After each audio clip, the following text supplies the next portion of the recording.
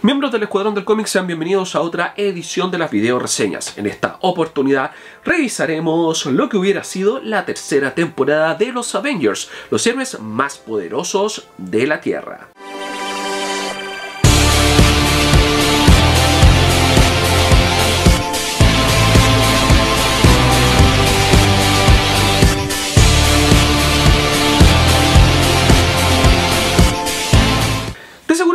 Recuerdan la serie de los Vengadores o los héroes más poderosos de la Tierra con mucho cariño. Y es que, como no, si esta serie realmente era genial, nos mostraba distintos argumentos que iba construyendo poco a poco a lo largo de sus temporadas. Recordemos que solamente tuvieron dos temporadas. Uno de ellos, por ejemplo, estaban construyendo el camino para lo que era la Civil War.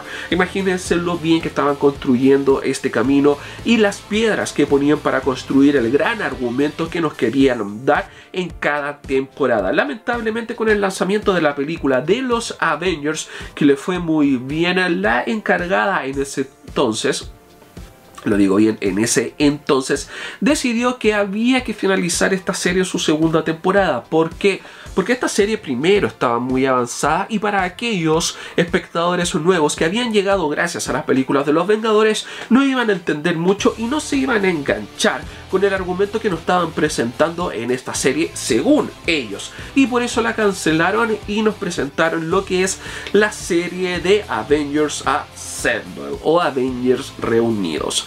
Eh, muchos nos quedamos con las ganas de ver una tercera temporada y maravillarnos con las sorpresas que ahí van a tener. Pero en septiembre del 2020 se cumplían 10 años de la serie, ¿sí?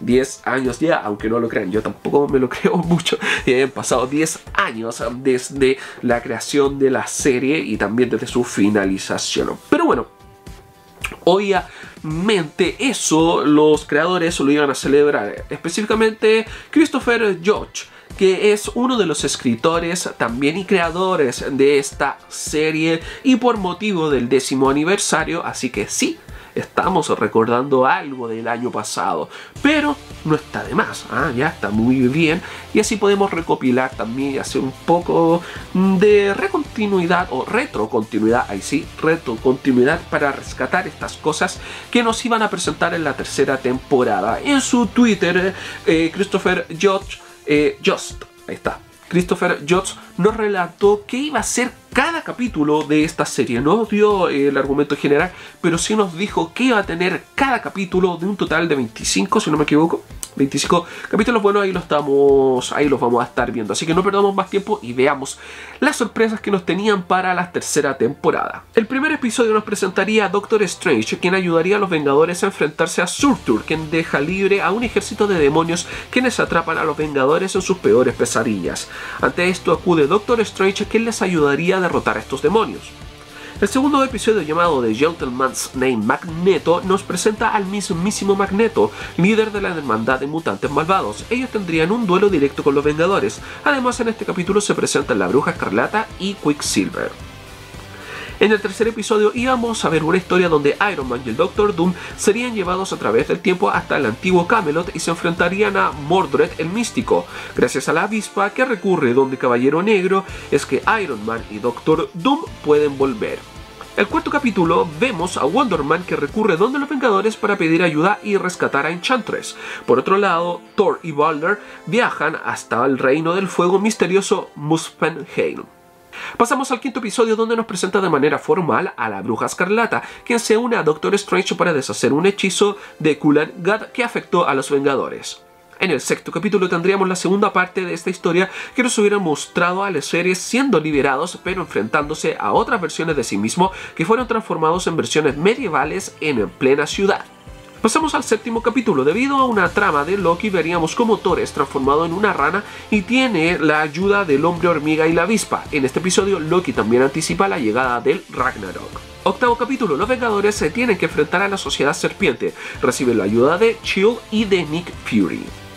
El capítulo 9 de Los Vengadores hacen referencia a su versión de Avenger West Coast, donde Ojo de Halcón y Wonder Man consideran un cambio tras un viaje a California y allí se enfrentan a Graviton con la ayuda de Pájara Burlón y Tigra. En el capítulo 10 viajan a Bélgica para enfrentarse al Alto Evolucionador, mientras que la Bruja Escarlata y Quicksilver tratan de averiguar la verdad sobre su ascendencia y podrían descubrir que Magneto es su padre. Pasamos al capítulo 11. Tras la batalla se libera al antiguo dios Chitoth que va en busca de la bruja escarlata, pero con la ayuda de Quicksilver los Vengadores deben buscar el Darkhold, el libro de magia oscura. Pasamos al episodio 12, donde por fin se concreta la llegada de Surtur a Asgard. Los Vengadores le tratarían de hacer frente junto a Loki, pero aparece la diosa Hela. Aquí se revela que el Capitán América aparentemente tiene una deuda con ella y que debe saldar. Aquí también Thor se enfrenta a Jormungand, la serpiente de Midgard.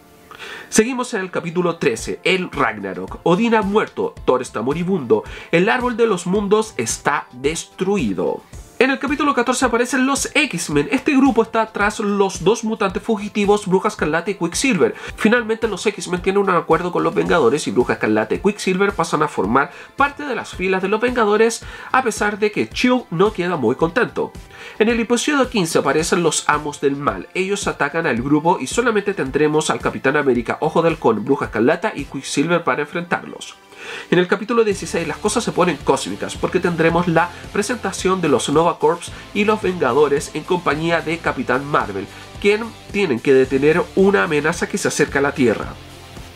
Pasamos al capítulo 17. Mientras que en Estados Unidos suceden los eventos del episodio anterior, en Wakanda Pantera Negra recibe la visita de los Eternos, quienes le advierten de la llegada de los Celestiales. En el capítulo 18 aparece Juggernaut, quien se enfrenta a Hulk y Thor, pero aparece Wolverine junto con los X-Men para llevarlos tras sus filas, pero las cosas no salen bien para nadie. Pasamos al capítulo 19, donde los Vengadores nuevamente se enfrentan a Kang el Conquistador. Tras un accidente, el Capitán América se encontraría viajando en el tiempo, donde se encontraría con Namor y en el futuro se encontraría con Ultron, quien lo controla todo. En el capítulo 20 aparece la Fuerza Fénix. Los Vengadores son advertidos de que una nueva enorme fuerza se acerca a la Tierra. Thor, Visión, Capitán Marvel, Iron Man y los Nova Corp se preparan para la llegada de la Fuerza Fénix a la Tierra. Pasamos al capítulo 21. Curiosamente no hay referencias a la Fuerza Fénix. Aún así, los Vengadores, X-Men, Inhumanos, Atlantes y los Eternos se tienen que unir en una guerra evolutiva para detener al Alto Evolucionador. En el capítulo 22 las cosas no van bien para los héroes, ya que otro enemigo aparece, Ultron está de regreso. Por mucho tiempo fue un testigo en las sombras y ahora está listo para atacar. Al parecer esto tiene relación con lo que vio el Capitán América cuando viajó por el tiempo en la batalla contra Kang. En el capítulo 23 tendremos la alianza entre Doctor Strange, Namor y Hulk, quienes se enfrentan a los ancianos del universo. Posteriormente se les une Capitán Marvel y Valkyria.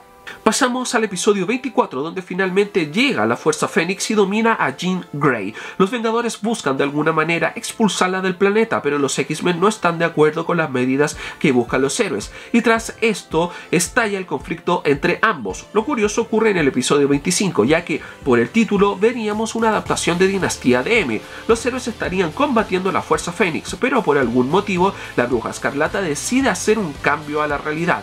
En el último capítulo los X-Men se unen a los Vengadores para enfrentar al Fénix Oscuro, pero no es lo único, ya que el acto que realizó la Bruja Escarlata quebró de alguna manera y de forma permanente la realidad. La respuesta y resolución de lo que realizó la Bruja Escarlata se vería en la cuarta temporada. Como ven, estaba muy interesante el desarrollo de los acontecimientos que ocurrirían en la tercera temporada. Un total de 26 episodios, lo cual no es menor. Las temporadas anteriores tenían la misma cantidad de capítulos, así que no es de extrañar que sea tan extensa esta tercera temporada y que ocurran tantos acontecimientos que finalmente lleven al enfrentamiento de los Vengadores y los X-Men contra la Fuerza Fénix. En algún momento seguramente, no se detalla mucho, pero en algún momento seguramente hubiéramos visto el enfrentamiento entre Vengadores versus X-Men, lo cual hubiera estado bastante épico en esta serie animada de los Vengadores o los seres más poderosos de la Tierra. Y como vimos también en el último capítulo, las cosas quedaban abiertas para una cuarta temporada. Lamentablemente, nadie, nadie nos va a responder estas preguntas. ¿Qué hubiera pasado en la cuarta temporada? Es lo que queda en el aire. Bueno amigos, si a ti te gustó cómo iba más o menos las ideas de esta tercera temporada, si me preguntan a mí, yo lo encuentro espectacular. ¿Y ustedes? ¿Les gustan o no estas ideas que se plantearon? Si es así, un like. Si no, un dislike que también es bienvenido, no hay ningún problema. ¿Tienes algo que decir acerca de esta tercera temporada? ¿Te gusta cómo iba encaminada? Prefieres que hubiera ido por otro camino, déjalo todo aquí abajo en la caja de los comentarios. Y los nuevos que llegaron a mi canal gracias a este video, suscríbanse aquí a mi canal de Todo Un Poco Comics para ver más videos así. Y aquí les dejo una lista de reproducción para que puedan disfrutar. Sin nada más que decir, me despido, soy Jopek y nos encontramos en otro capítulo aquí en las video reseñas.